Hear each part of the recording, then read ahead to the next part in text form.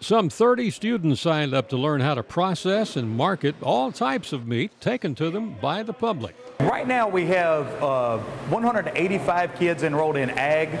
We have about 30 who are coming through and working on their certification in meats processing. After being certified, many in the class may decide on careers in the meat industry.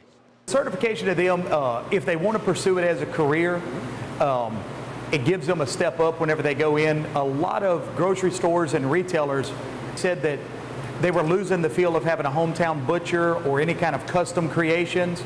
It may seem unusual for a high school unless you grow up in a rural area where families, especially large ones, are accustomed to raising their own meat, which then has to be processed before it can be used. And the meat will also include wild game, something that's been done in this community for generations. Most of our meat comes from individuals raising off the farm. Uh, hogs, beef, sheep. We do get a lot of deer. That's our biggest fluctuation is the hunters go and kill the deer and they bring it here for us to process for them. These students learn that processing meat for human consumption is a lot more than what you see in the supermarket. It has to start with a full scale meat processing center like this state of the art facility at this school.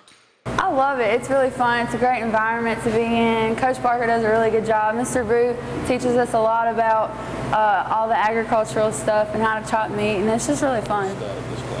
The most out of this class is uh, a very safe way to be processing and cutting and everything, and also we learn different recipes, and we also make our own and test them out and all that kind of stuff. This is everybody's favorite place.